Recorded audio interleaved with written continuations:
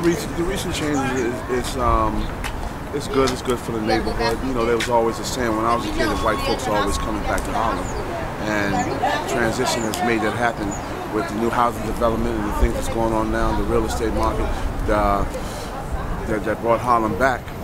Uh, you know, so it, it's good for the neighborhood.